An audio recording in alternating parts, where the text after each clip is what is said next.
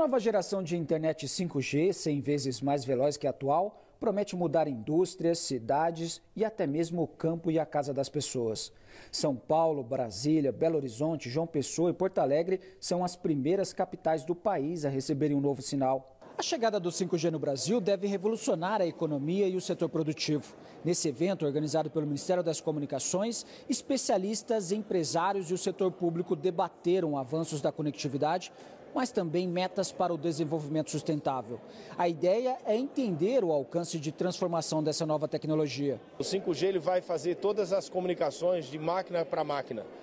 Né? Ele vai interligar as pessoas com as máquinas, ele vai melhorar o agronegócio vai crescer em torno de 10 a 20% do PIB.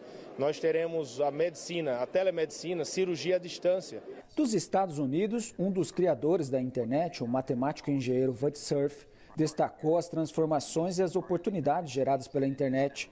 Para ele, na próxima década, vai ser possível se conectar de qualquer lugar do planeta. In the next decade, should be able to get access to the internet. Por videoconferência, o presidente Jair Bolsonaro disse que a nova tecnologia vai transformar a economia, principalmente o agronegócio brasileiro. O Brasil já é um gigante no agronegócio. Imagina agora como ficará com o 5G. Nós estimamos aqui, falando em números, que o uso de soluções 5G pode representar um impacto de até 590 bilhões por ano, sugerindo que a nova geração de redes móveis poderá render mais de 100 bilhões somente para empresas multinacionais startups até 2031.